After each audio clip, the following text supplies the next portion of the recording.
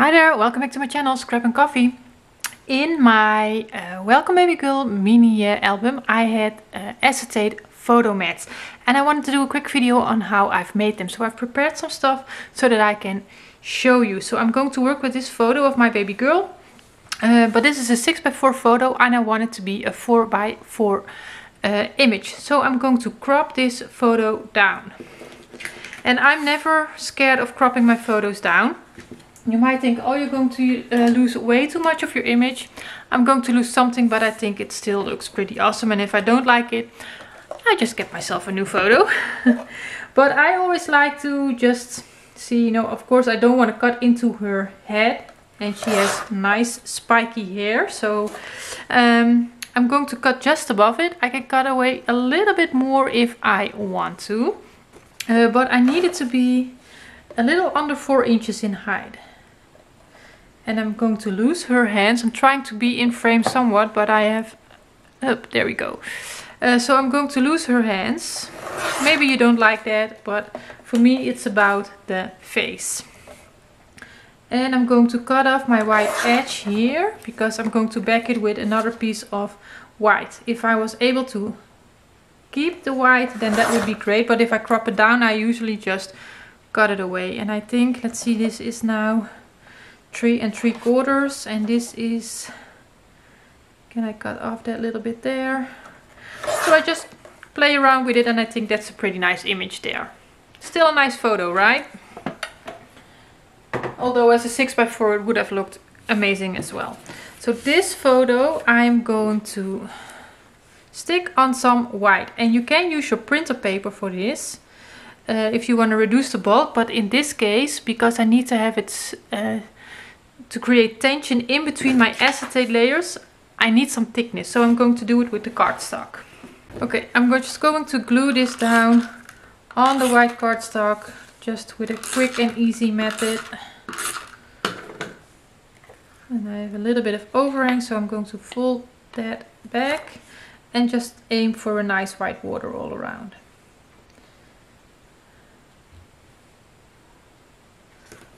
So there we go photo 4x4 or actually a little smaller. The white cardstock here is the actual 4x4. And then on the back side of this I'm going to place some pattern paper. This is cut to I think 3 and 7 eighths by 3 and 7 eighths.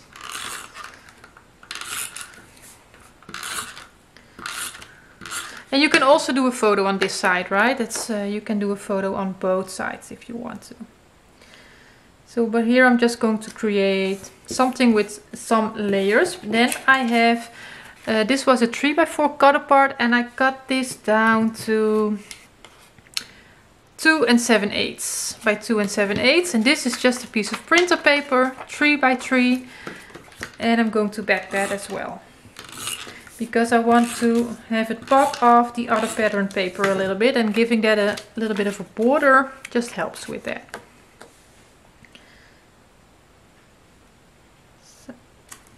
There we go. And then I'm going to stick this on there and try to get that even.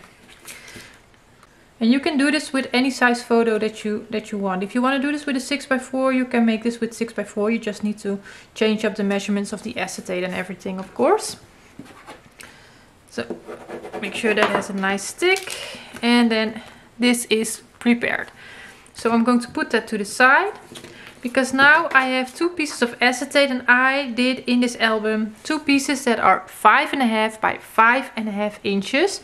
And with the four by four photo in there it works with a quarter inch tape around the perimeter. And why am I saying that? Because if you're not giving enough width to stick it down on top of each other you're not creating enough tension. So you need um, to create that tension between your acetate layers for the photo to stay in place.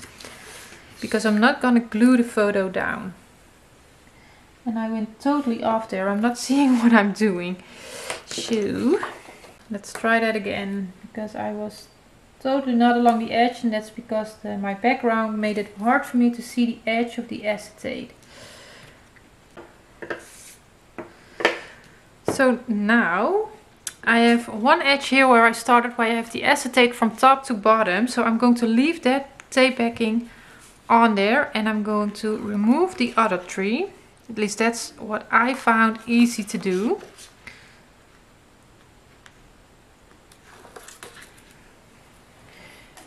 Then I get my photo back in and I'm going to try to center that on this piece of acetate as best as I can. Something like that. So I have still left the tape backing there and I'm going to use that to line up this piece of acetate with that other piece. And I have something on there so I'm going to make sure that's on the outside so I can remove it later on.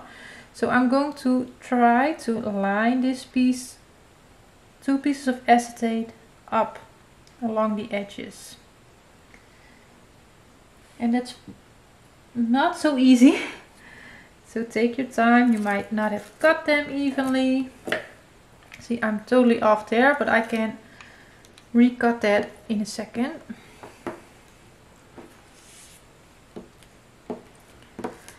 There, and now I'm going to try to peel away this tape backing here.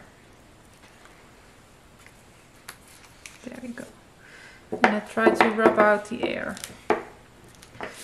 So by sticking these down on top of each other I've created some tension and for that you need some layers and you need enough width of tape uh, to create that tension. So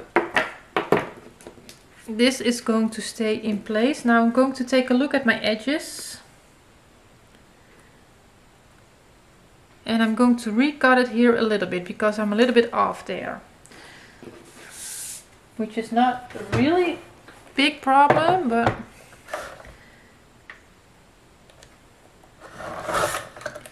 there we go. Okay, so now I'm going to clean up these edges because of course I don't want to be seeing this tape. So what did I do? From some scrap pieces or a pattern that you like, I cut strips, uh, three quarters of an inch and in this case by 12 and then I have enough by with two strips but if they are shorter you might need more strips but three quarters of an inch in width that's what I did I'm going to get my scoreboard and align that with that three quarter inch side on top and I'm not able to get it in frame completely but what am I going to do I'm going to score it halfway so that's at the three inch 3 8 inch mark. Score that.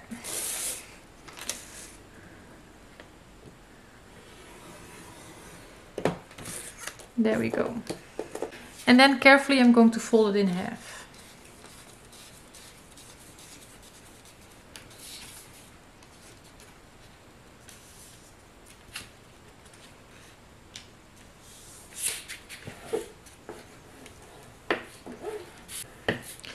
So once you've done this, you might want to check because often, that's for me the case, is that one side is a little bit longer than the other side.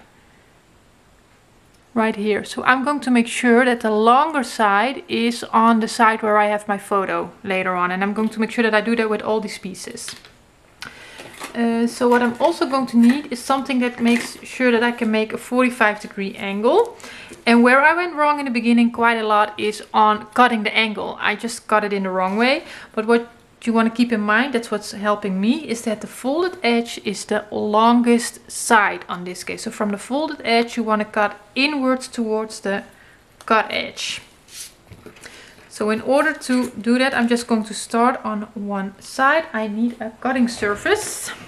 Don't want to be cutting into my work surface and a knife and maybe also a pencil. So I'm going to the folded edges on top and from there I'm just going to make an angle from the side. I don't want to lose too much of my paper. So you just want to do that however works for you. You can mark it and then cut it with your scissors or cut it with your knife straight away. So I've made that angle, 45 degree angle, and then I'm aligning it along my acetate edge. And I'm going to mark where to where the piece needs to go. And then again, lining it up there with that pencil mark. Make sure that I'm straight. And cut my angle again. And this is where it's a little bit difficult for me to... don't want to be cutting in my ruler like I am doing right now.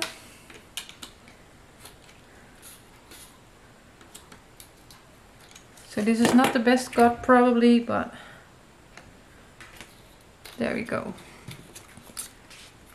So now I'm going to place it on here and see if I'm happy with that. And once I'm happy with it, making sure that I have the longer side on my photo side, I'm going to, I like to work with double-sided tape when I'm working with acetate because with wet glue I'm always messy. So I have some really skinny double-sided tape, 1 8 inch tape. And I'm just going to apply something along the cut edge. And then one close to the score line but not on the score line. And I will do that on both uh, the half well it's not a half inch 3 8 inch sides. So again close it. Make sure that I have the long side on the photo side and then on the shorter side which is going to be on the back that's where I'm going to remove my tape backing. This was for me the easiest way to do this but maybe you find something else easier. But I'm going to align it where my pointy ends are lined up with the edge of the acetate as best as I can and I just uh, yeah put the fold on top of it. And then I'm going to push on it and now only the back side is stuck down right and then I open this back up and remove the tape backing from the other flap and then close it up again so there we go, that's one. So now, next piece. I have to make my angle go in the right direction again. So when you have a 12 inch strip, you should be able to do two sides of your frame out of one piece. But if you mess it up, like I did a lot, you might need a little more than two strips. Okay, so I've got that angle. And now there are several ways you can do this. You could place it on top. But then it's for me, it's really hard to determine where I'm going to mark, where I need to make my angle. So I'm going to place it on top. And then a little bit down. So that I can see the edge of the acetate and it's just really really hard to get this completely right and precise it's um, almost impossible I would say so yeah just be happy with a nice fit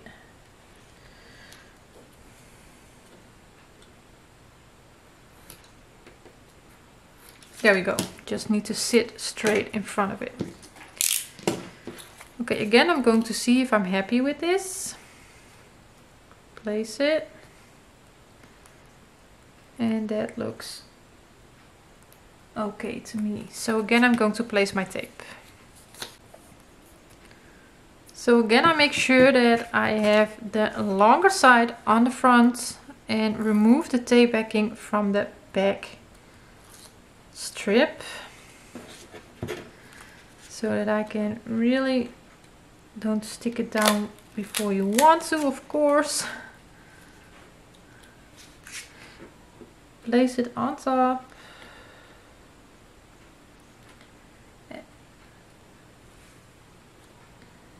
and when I'm happy with my placement here in the corner where I'm not able to completely bump it up against each other but I do my best to get it as good as I can. I can push down on this and then remove the tape backing.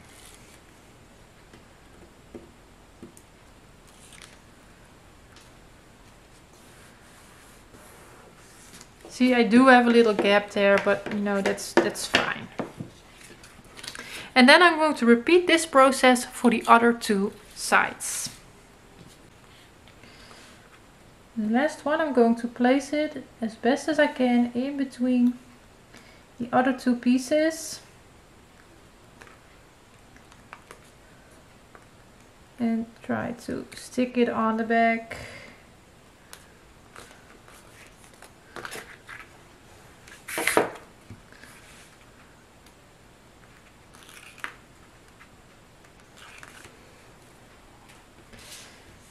And then fold in the fronts.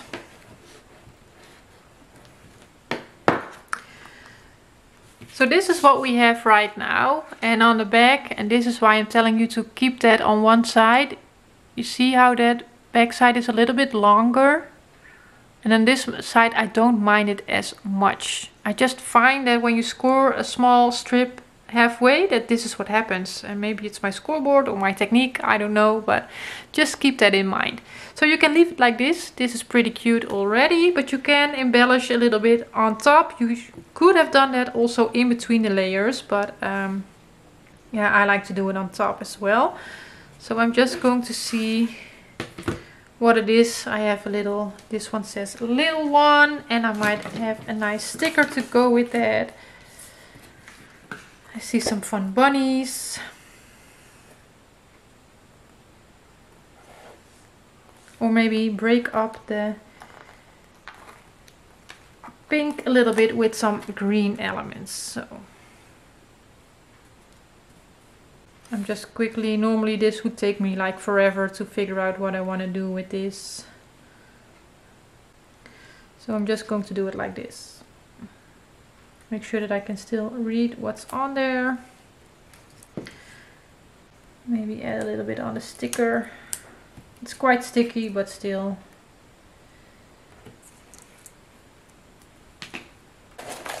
And then I might want to add some extra interests. I'm just grabbing myself some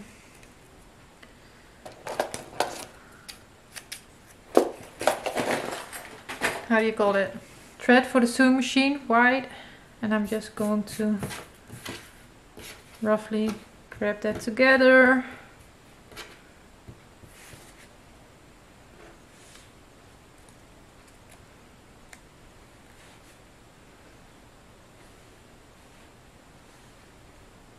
And then I do something like this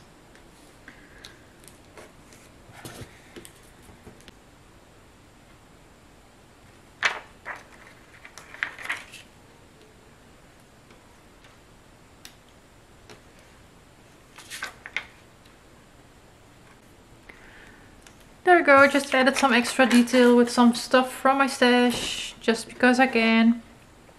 And I'm trying to show you up close what I did. Added some animal dots and just fun photo mat to go in your book. And you might don't like this, uh, but again, this is actually the back. If you have photo on two sides, you want to be a little bit more careful that you have it on the photo perhaps. But I don't mind this. That's okay with me. Maybe I don't like that I see the tape there. I should have thought about that a little bit better. But this is just fine for me. It's about this side, right? Thank you for watching. Enjoy the rest of your day and hope to see you in the next one. Bye bye.